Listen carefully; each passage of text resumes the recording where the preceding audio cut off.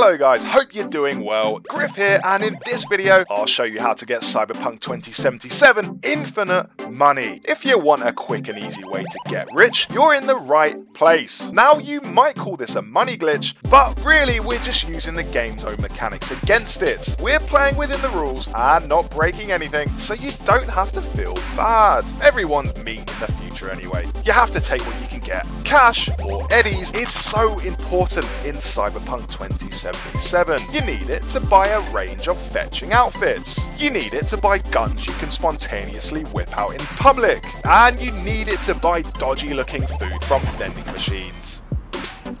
It's one of the most precious resources in Night City, and I'm about to show you how to get a load of it real fast. Before I do though guys, show your appreciation by giving this video a like. And if you want more Cyberpunk videos like this, subscribe to my channel, Gaming with Griff Griffin. Okay, now let's get rich.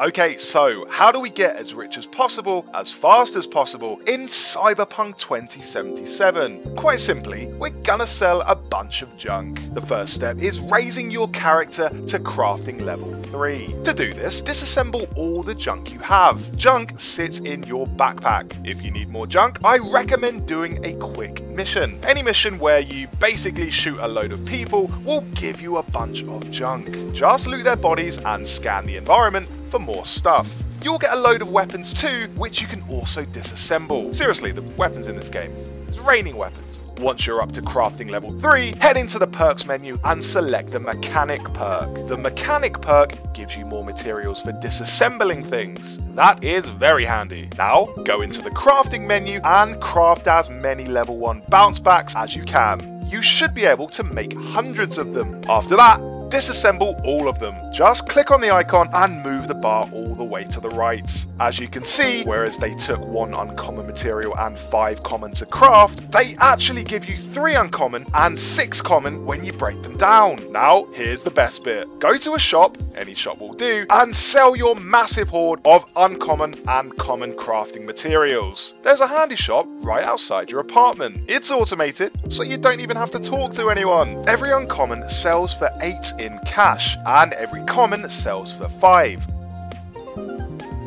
So you can get thousands in no time at all. To break down the numbers a bit, you're making a profit of 21 every time you craft a bounce back, disassemble it, and sell it. That's because the total cost of crafting a bounce back is 33, which is the price of one uncommon and five common. But the total money you get from disassembling is 54. That's the price of three uncommon and six common.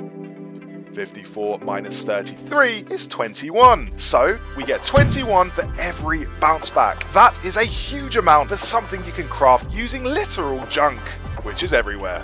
So much trash. Now, here's something to try if you're struggling to disassemble your bounce backs. Sometimes the game doesn't let you do it, in which case, simply eat an item from your inventory. Suddenly, you'll be able to. Yes, it's weird, but munching on a slice of pizza is the solution, just like in real life. Also, try unequipping the bounce back as you can't disassemble items you've got equipped. Finally, if you're still having trouble breaking down your bounce backs, try sorting all the items in your backpack. I don't know why, but I must just recalibrate something in the game's menu. That sometimes works, as does the old method of loading a previous save. Whatever happens, you will assemble your bounce backs. I've dug around in the inventory and tried this with other things, but as far as I can tell, the bounce back consumable is the only one to give you a straight profit. And that's level 1 bounce backs. Level 2 bounce backs they'll give you more uncommon, but at a greater loss of common. So focus on level 1 bounce backs. Get junk,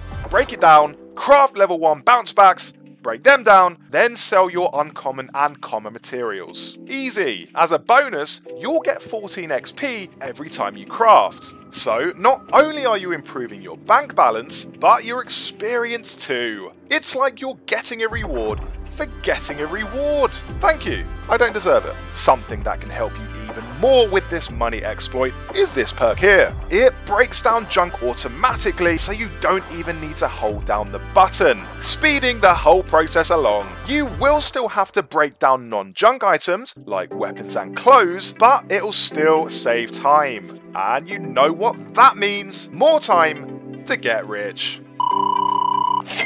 So that was my Cyberpunk 2077 Infinite Money Guide.